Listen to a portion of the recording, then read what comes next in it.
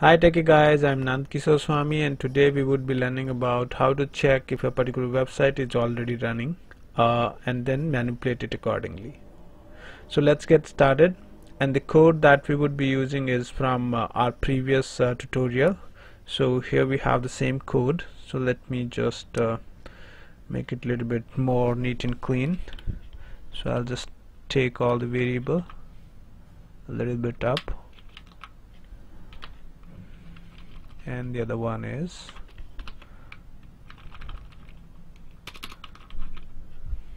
so before we create a new instance of IE object here we will verify if this particular website is already running. Then in that case we do not need to create a new instance of Internet Explorer.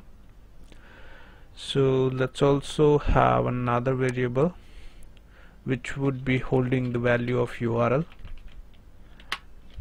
so let me cut it and URL add string.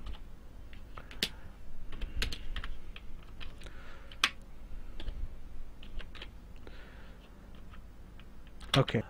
So before we create a new instance of IE object we will check if that particular Google or the particular website is already running so right now you can see there are two websites is already open and running on uh, my IE browser.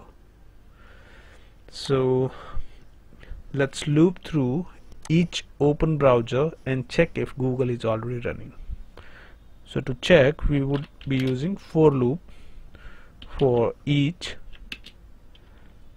IE in. So all the windows uh, are called shell windows.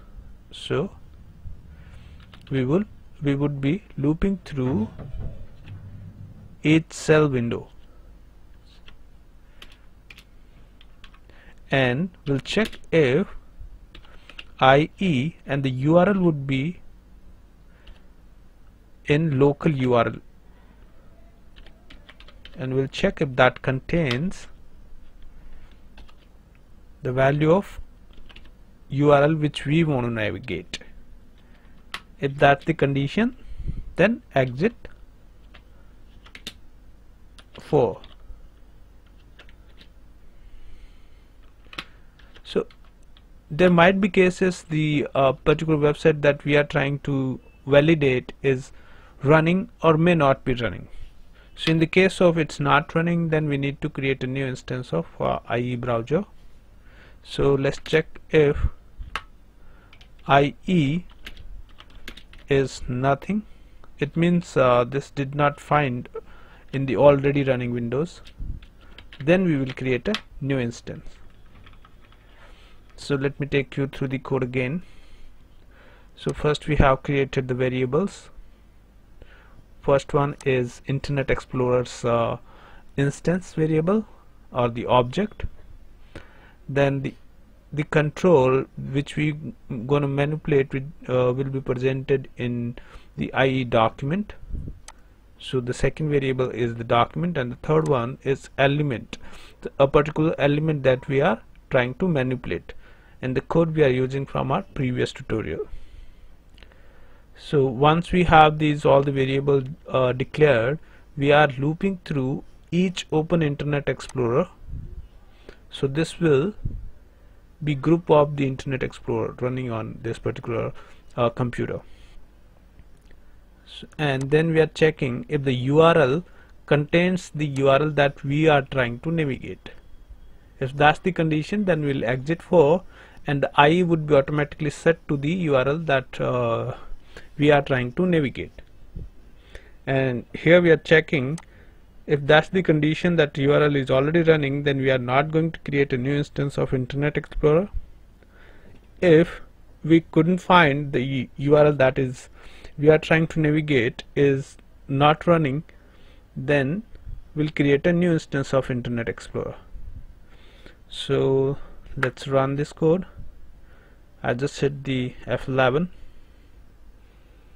so it's running it's building. Building is in process. So there we go.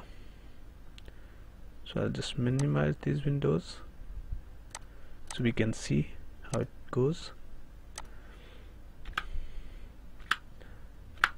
And let's see the URL value now.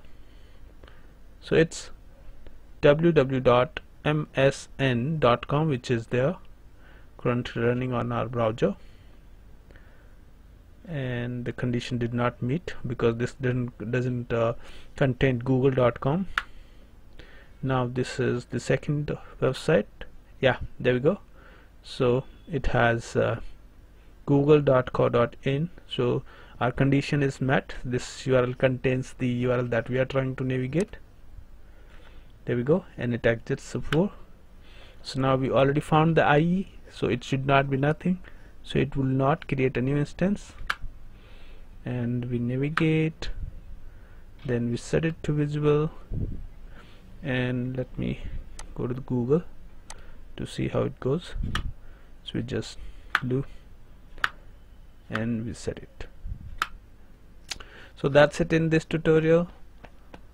Thanks for watching. See you in next video